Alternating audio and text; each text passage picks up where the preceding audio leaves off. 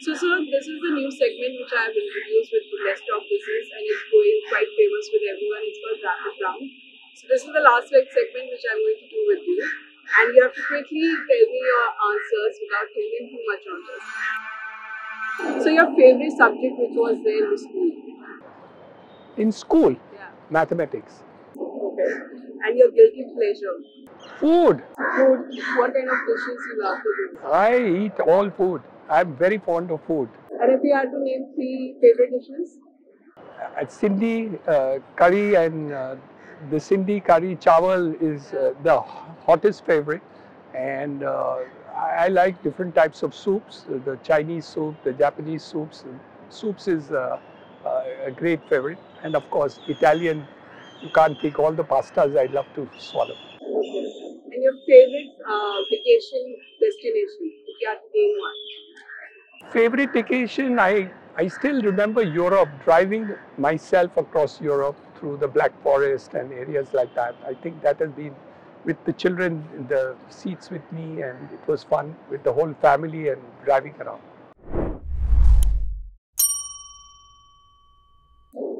One thing in your bucket list right now. cure diabetes in india Your fitness success rules, if you have specify three.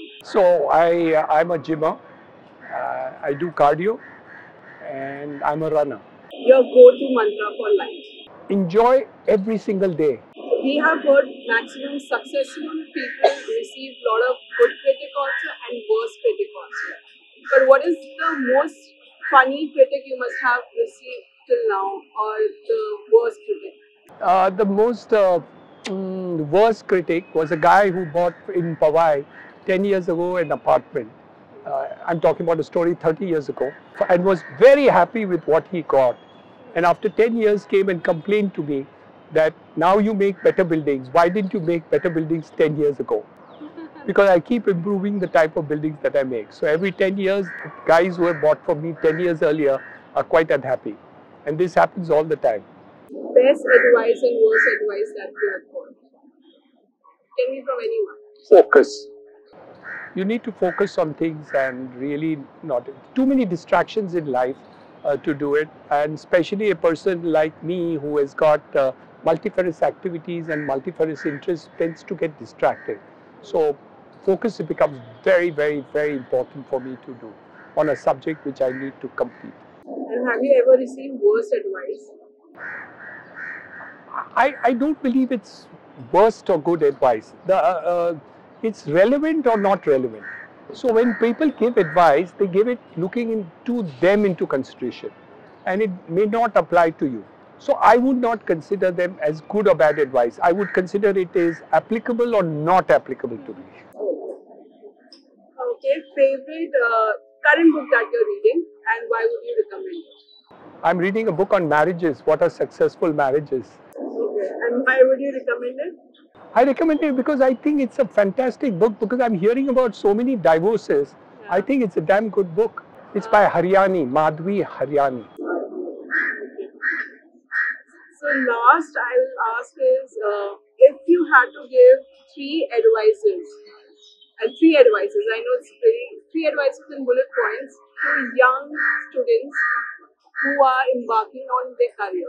What those three advices would be? Do what you love, be committed to what you love, and learn how to do it better every single day of your life. You'll never tire of it because you love it. You have a passion on it, so you'll give it your very best. And if you discipline yourself to focus on it, you cannot not be successful. But if people think about it, uh, as we talked before, that this is work and this is pleasure, then uh, you can't be fantastic success. So all the people who are, I remember a time when I once asked for an appointment from Mr. Mukesh Ambani himself. I'm talking about 15 years ago, maybe 20. I got an appointment at 11:30 p.m. in his office because he was finishing his meeting at 11, 11:15 on a previous meeting. So he said, "I'll see you for half an hour at 11:30," and he did. You know, time just becomes irrelevant today. If you're in love with something or somebody, I mean, would you bother about the clock and watch? No. So same it is with your life and love and work. Thank you so much, sir, for coming here to Let's Talk Business Race. It's lovely to have you and it was wonderful to meet you again. My pleasure to be with you. Thank you, Kritika.